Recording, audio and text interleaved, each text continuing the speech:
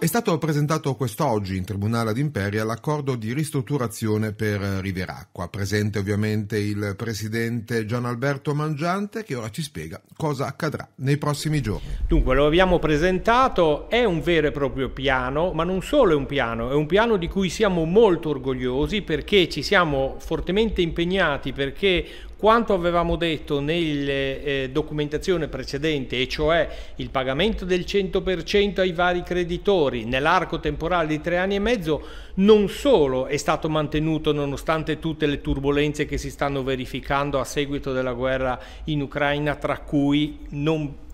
prima di tutto quanto l'aumento vertiginoso esponenziale dei costi di approvvigionamento materie prime e costi energetici, ma lo abbiamo anche migliorato. In che termini? Mentre prima erano previsti i pagamenti a favore dei fornitori di beni e servizi in un arco temporale di tre anni e mezzo, adesso il nuovo piano prevede un pagamento entro il 30 giugno 2023 eh, a seguito dell'apporto finanziario del socio privato. Quindi community uno sforzo importante, ma uno sforzo rivolto al mercato e al territorio dell'Imperiese che già ha sofferto troppo per la situazione di Riviera Acqua e effettivamente meritava un occhio di riguardo nella predisposizione del piano. Ora c'è un'istanza per il pagamento dei fornitori strategici già per la prossima settimana. È così, aspetto estremamente importante perché eh, depositeremo la cosiddetta istanza di, di, sblocco dove chiederemo al giudice di poter pagare eh, eh una parte di fornitori per oltre un milione e mezzo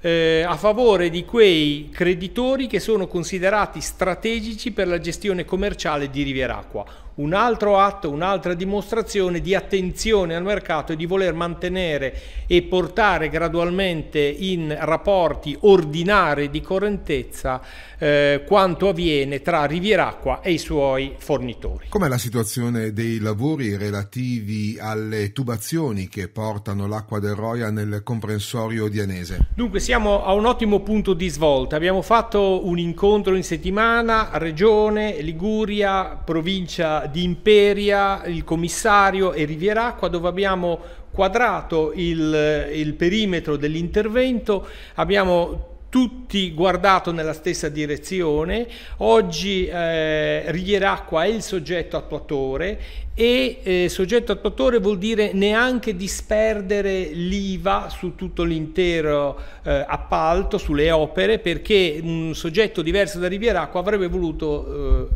significare una dispersione dell'IVA.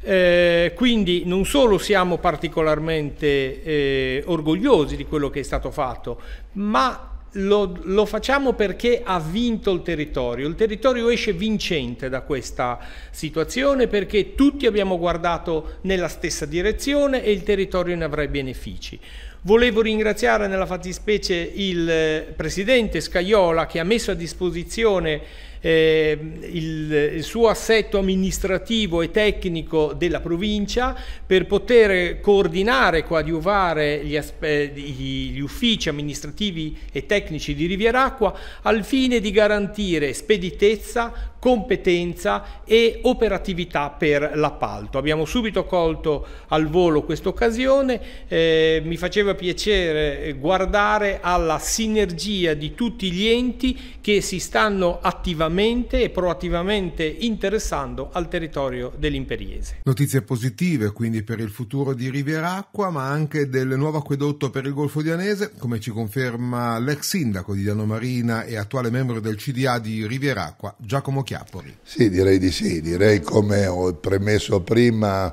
eh, abbiamo forgiato questo, questo, ferro che ogni tanto cambiava di aspetto e aveva bisogno, non ultimo la guerra, non ultimo gli aumenti, non, cioè c'era sempre, sempre qualche problema. Adesso ci siamo, abbiamo raggiunto un risultato che, come si diceva, va bene per la gente, va bene per questa famosa acqua pubblica, va bene per il fatto che questo soggetto è stato riconosciuto concessionario, la Riviera Acqua è stata riconosciuta soggetto attuatore, quindi arriveranno i soldi, i 27 milioni e mezzo e se non arrivassero subito potremo avere la copertura di primi 5 milioni e 8 della regione, che poi naturalmente ripescherà da quella cifra lì. Eh, abbiamo fatto tutti i progetti, abbiamo messo in piedi quello che si poteva fare, abbiamo fatto le conferenze dei servizi chiuse, adesso abbiamo solo che da fare la gara. Ci siamo persi un po' di tempo, ma come vi ho detto prima, perché c'è sempre, sempre, qualche problema, insomma, eh, creato anche, non fosse altro, dai funzionari regionali che ogni tanto vogliono delle cose in più e che bisogna sottoporgliele, punto e basta.